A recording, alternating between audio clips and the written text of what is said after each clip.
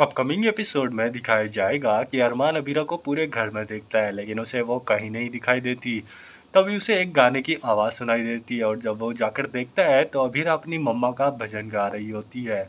उसे वो गाना बहुत सुरीला लगता है, लेकिन तभी अरमान को देखकर अबीरा चुप हो जाती है। अरमान उससे कहता है कि तुम चुप क्यों हो गई? आगे गाओ, तुम बहुत अच्छा गा रही थी।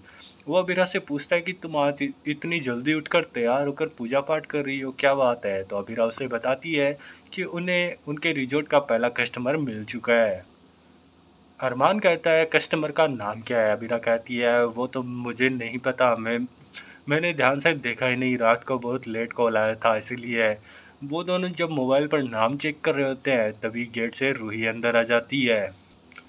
रूही को दे, रूही को मसूरी में देखकर वो दोनों सरप्राइज़ हो जाते हैं और रूही यहाँ पर अपने साथ कुछ लेकर आई है, जिससे अबीरा और अरमान की ज़िंदगी बदलने वाली है।